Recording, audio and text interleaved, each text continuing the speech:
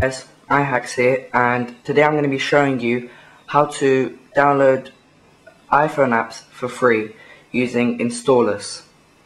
Now first of all your iPhone will need to be jailbroken and you'll need to have Cydia.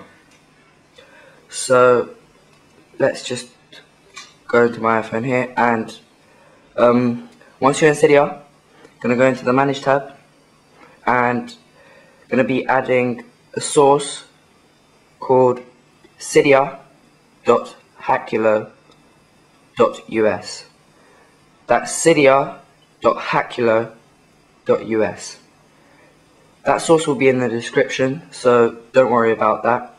Now, once you've um, added that, going to go into the search tab and type in installous and there'll be numerous of um, Installous here, but you're going to be um, installing the one from um, hackulo.us.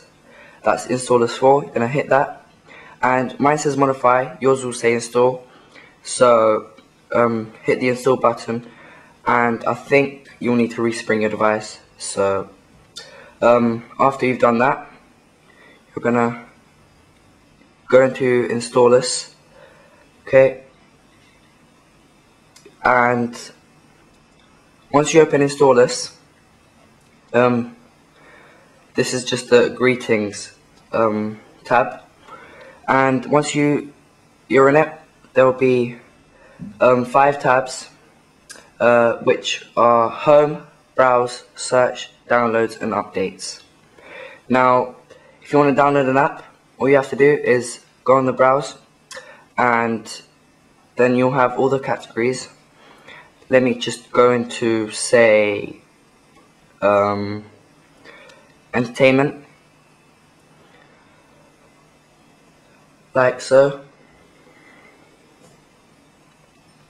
And these are all the um, entertainment apps. So uh, you can um, go into the search tab to search for a specific um, app that you want Okay, I just search for Angry Birds here and I'm just to download this Angry Birds season. You hit the download button and then you'll have numerous of um, websites that you can go on. Uh, okay, so gonna click on the first one which is File 8 and then gonna click on regular. Here this is only for File 8 you just follow the website's instructions and then you'll be off with the download. Just have to wait here for 10 seconds. And once that's done, you're going to click the download ready click here button. Like so. And once that has says started, you're going to go into the downloads tab and you'll see it downloading there.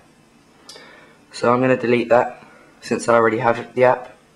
Then on the updates um, tab, these are all your updates for your apps.